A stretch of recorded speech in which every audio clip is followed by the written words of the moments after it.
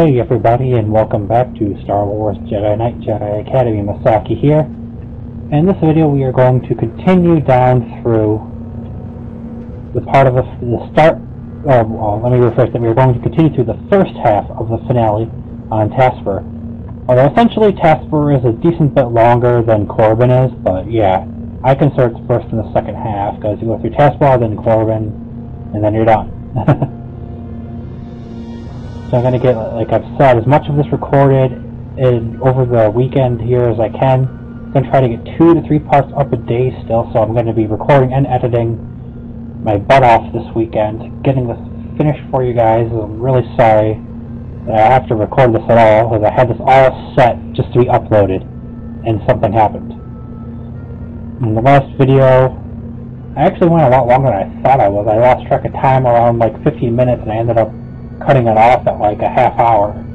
But won't be happening for the rest of these videos. So, I said through here we have another couple of those. Is it? No, it's a Reborn, Force User, and a Cultist.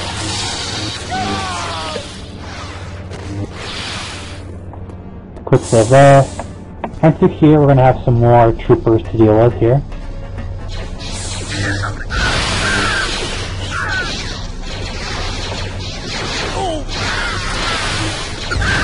Essentially, you keep the sabers up to deflect the shots from everything and avoid damage. And take out all these guys as, as quick as you can. Heal up, quick save there.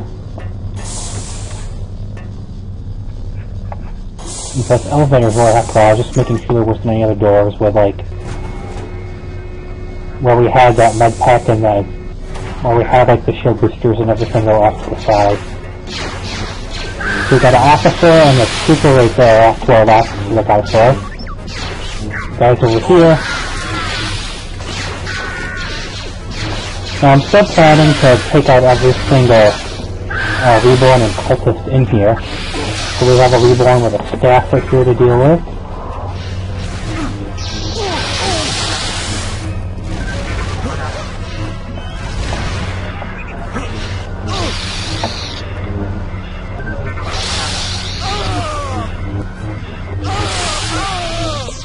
Take that guy out. Now the door over there is where we're supposed to go. I have to come out here. Come out here, you have a med pack right there, and a large booster back here. So you're probably not going to have much shield at the moment. You might need some health. You don't want to use your um, heal if you have it, or if you don't have heal at all. There's a med pack up there and some shield to help keep you alive a little easier. You're gonna have to this door. You've got an officer and a jetpack trooper here.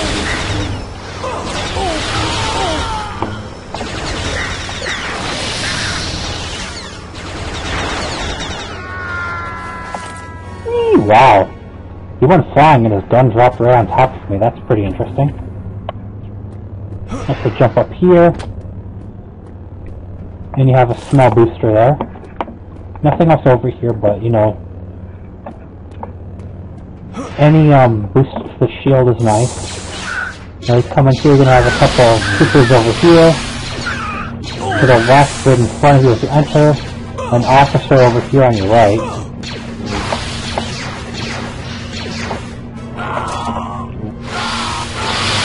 Don't forget with your core powers maxed out, you can push and pull down multiple enemies to the ground. And likewise, you can pull multiple weapons from enemies' hands at once. Ah, I'm sorry dude, you already died. Just went flying and frying at the same time. Alright, come up here and you're gonna have a dual saber reborn that drops down. This guy is completely optional, you don't have to take him. Ah, oh, darn, he got me. I'm kinda curious as to how.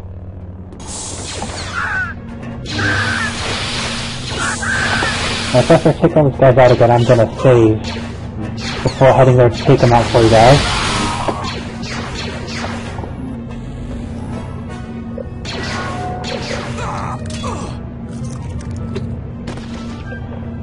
Didn't mean to go into force sense there.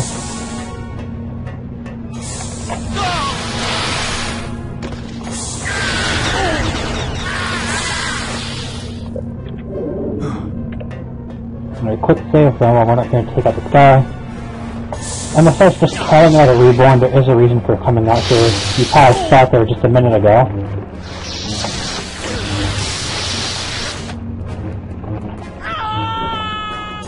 I almost fell off with him. But the reason for coming out here to fight him is this. You have a shield charger right here to boost your shield up even higher if you need it. And that's really the only thing out here besides him waiting for you.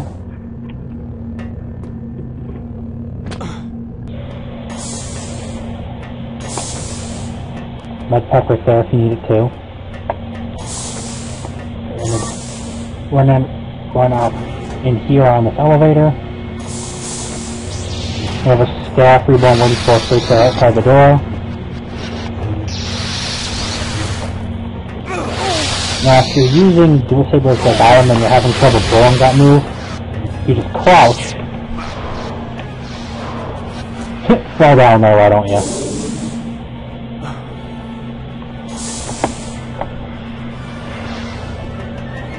Wow, really? You can jump up here? Alright, there we go. Alright, basically, if you're using dual sabers like I am and you're having trouble doing the twirl, you can't really perform it as easily as you do the, um... Let's see how good you are. You can't perform it quite as easily as you do the, the rolling stab.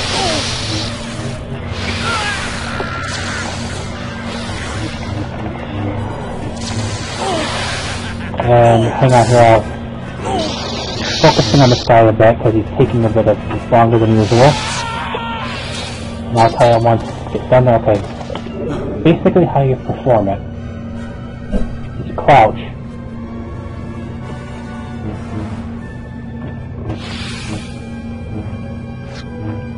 You see you can't, you crouch, and then like holding forward, you, you crouch then while you're holding forward, you hit attack to do it. If you want to stand up and do it, you kind of have to you have to be crouching and moving forward while you're doing it, so that's why it's a little more difficult. All three commands have to be hit together. Right through there, there is an officer facing away from you at a council, and to the right here, you have a reborn with a staff, and then to the left of the castle the officer is at, there's a small shield booster, and back here on the right, past where the reborn drops down, there is a med pack. Face me, Jedi. Do you fear me? So there's the officer, and here's the reborn. You cannot hide. Now, I'm not saying the 12 is an expert move, just that if you want to attempt... Oh, what the heck.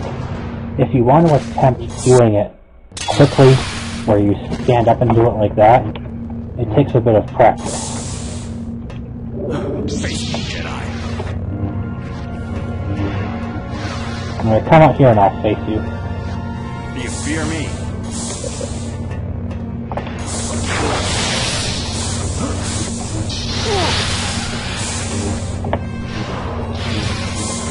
Because even when I go to do it like this, where I instantly stand up and do it, I don't always get it pulled off correctly.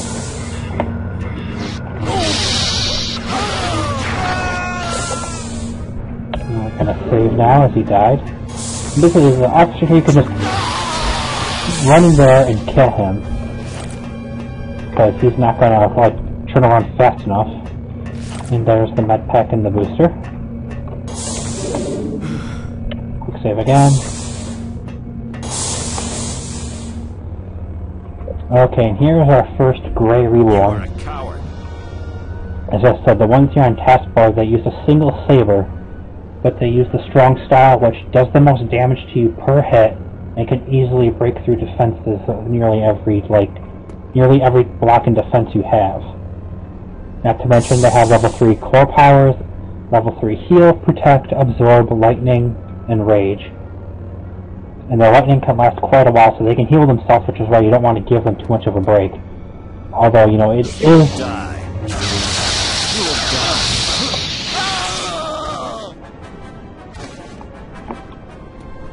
which is why, like, you know, I would say that it is not, you know, cowardly or anything to have to run away for a moment and heal if you need to.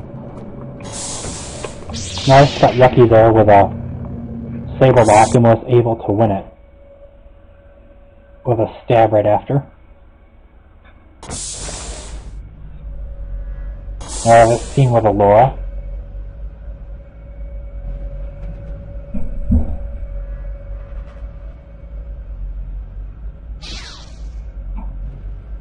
You! So, the itty bitty Jedi has come to rescue his friend. That's so sweet. Where's Rosh? What makes you think he wants to be rescued? Tavion turned him to the dark side, just like that. Where is he? Ooh, someone's getting awfully angry, aren't they? Forgetting your Jedi training? Look, Alora. Why serve Tavion? It's not too late to join us and fight her. I'm taking Rosh out of here. Make it easy on yourself and tell me where he is. Oh, he's around. I think I'll go look for him. As you can see there, she set off some explosives, blowing up some of the room to hinder your path. They make you look for a slightly more heavy. Well, it's basically just to kind of make you have to look around and find an alternative way up, essentially. And all these scenes with her is about two to th- three or four total, including the end. She gives the typical Sith slash dark Sith slash Dark Jedi responses about you babbling your Jedi bullcrap and whatnot. Alright, then here we have a cultist pair to deal with. I can remember most of these enemies coming up here, so don't worry too much. Quick save there.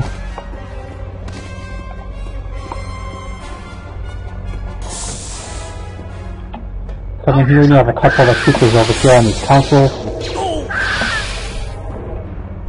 That door is locked, so this is the door we have to head to. Oh no, that is the locked door. And here we're gonna have another, the second scene with Alora. Now this is like melted metal or like lava.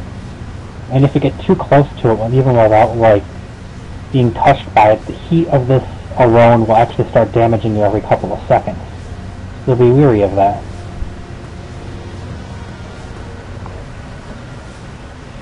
Oh, but you are persistent, Jedi.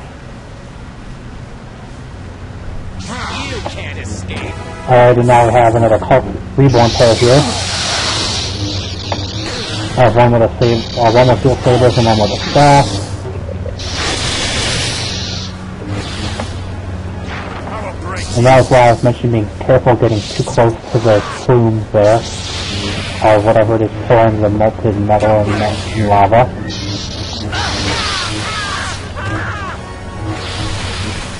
Because normally if you were just running through here, you know, you didn't have to fight anything, it wouldn't be as much of an issue. But it is since you do have to fight them. I will break you.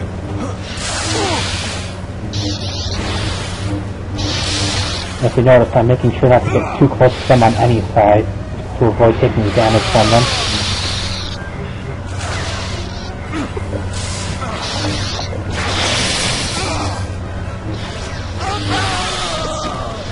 And there's the second reborn. Now if you notice, there's a door right there, but that door is locked. It's the door back here you have to go through. Gonna heal. We're gonna go down this elevator and it's gonna take us into a cooling room that has two more of these reborns like this, a staff and a dual saber reborn. Stop the Jedi. I probably won't get the one cool death in here the way I did before.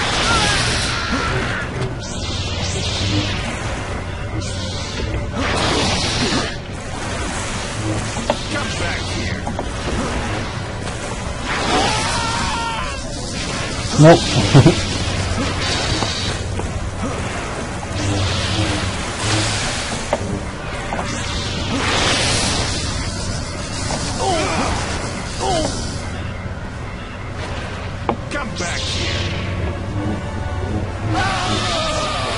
okay, so sorry I was talking as much there. What happened in the original death was like that first guy that I killed over here, I did this. And you saw that in slow-mo. You saw me throw out his zap because I did a backflip killing him. And in slow-mo, that was pretty damn sweet. Overall, it was pretty sweet death. Because it's a force power death using lightning as I do a backflip at the same time. A quick save after taking them out. This would have originally been uh, potentially the start of this video, because it was actually the start of the previous of the second video in Taspir before. Because I went up to 30 minutes instead of 20, and ended up being a little further into it. As so here you see it splits to the left and right. Both sides lead to the same room, and there's nothing, no enemies to fight either on either side, or um, obstacles in your way. So take either path you want. I have another scene with Alora in here. And that's not going to be till after we come around here and jump up. Oh darn, I missed the jump. If I have enough horsepower to get up here. Cool, I do.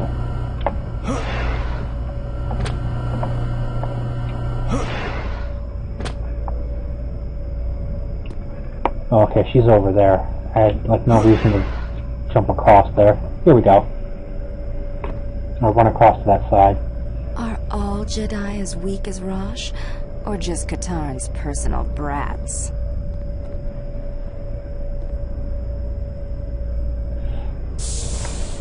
And as you saw, a cultist walked up behind her. Is she finished?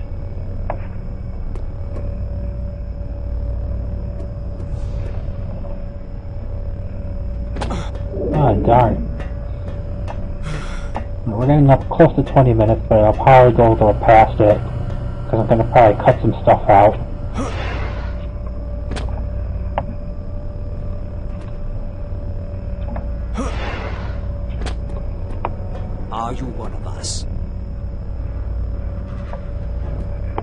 It, where is this?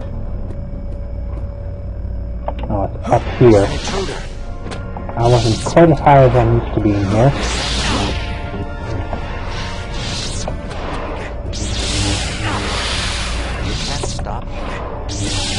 Remember that about these, um, endgame cultist force? Hail. Is they use choke a lot more often on you.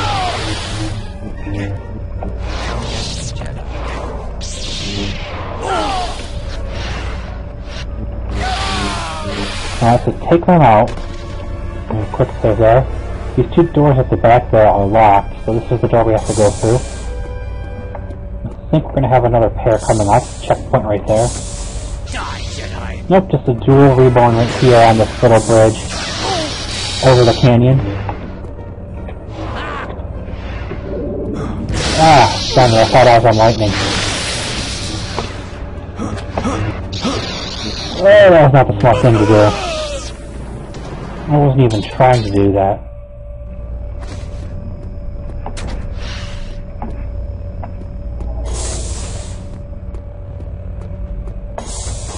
Yeah, should have just loaded from the checkpoint. Would have saved about a minute.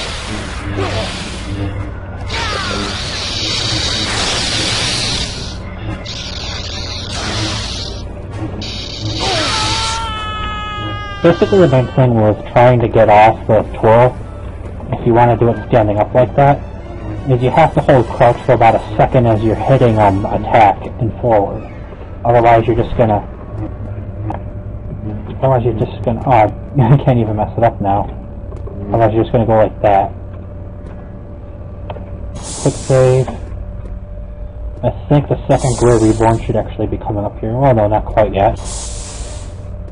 In this room there's two troopers to the right and two troopers to the left. One of the ones on the right, the shoulder pad, has a missile launcher, so be careful. And there's one door on each side, but only the door on the right side here is the one that you can enter.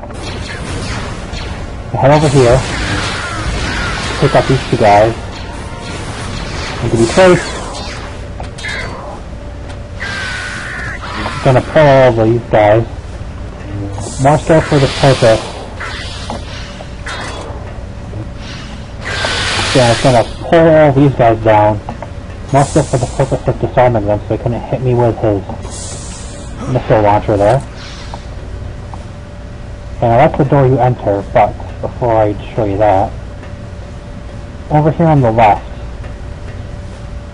where he's right there by this door, there is a weapon rack with a med pack on it if you need it, and there is an ammo dump.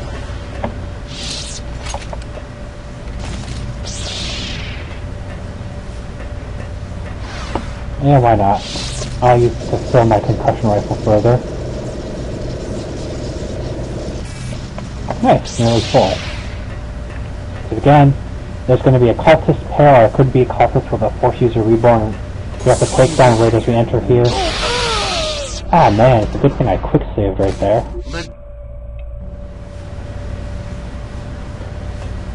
So yeah, looking, there was a cultist and then a Force User Reborn.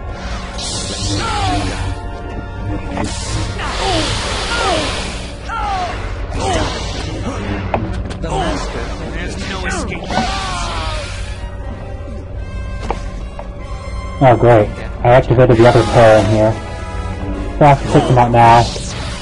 And this pair is just a cultist pair. A cultist of powers, and then a, just a cultist for the favor. So let's take out them. Then I'll end off this video. Let's see what you've got.